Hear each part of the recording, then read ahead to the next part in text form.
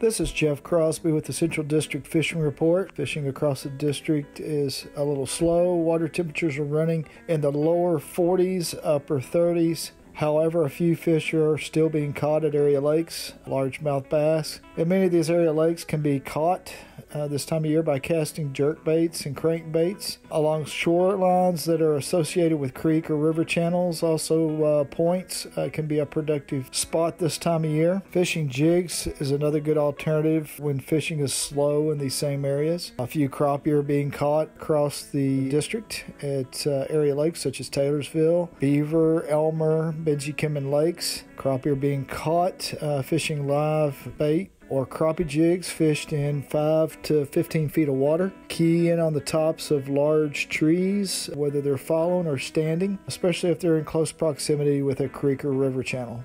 Finally, trout have been stocked in many water bodies across the district. Places such as the Dix River, Floyd's Fork, Taylorsville tailwaters, as well as many of the FINS, programs, ponds, and lakes that have been recently stocked with trout. Check out the department's website at fw.ky for a complete list of locations in your area. So grab a pole and enjoy some great winter fishing. Remember to dress appropriately when fishing in cold weather conditions and always wear your life jackets.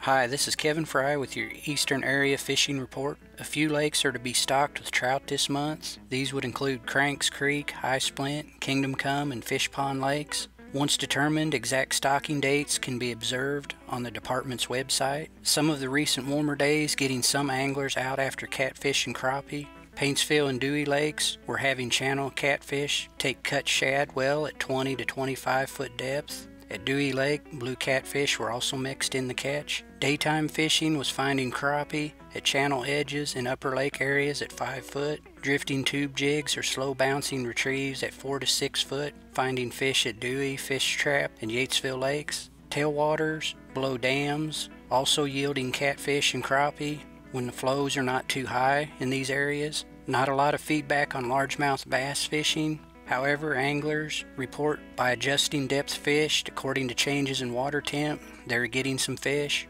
Plastic jigs and crankbaits accounting for these fish. A couple days in a row of warmer weather bringing bass shallow over mud flats.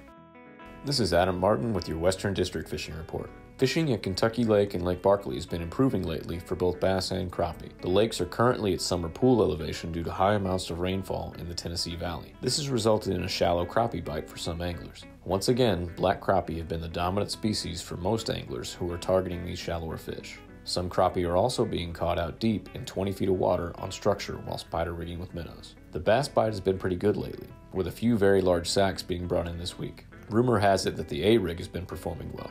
The A rig can be extremely effective if conditions are right. In mid January, with a water temperature of 50 degrees, is the perfect time to try it out. Be sure to use a sturdy rod and heavy braided line.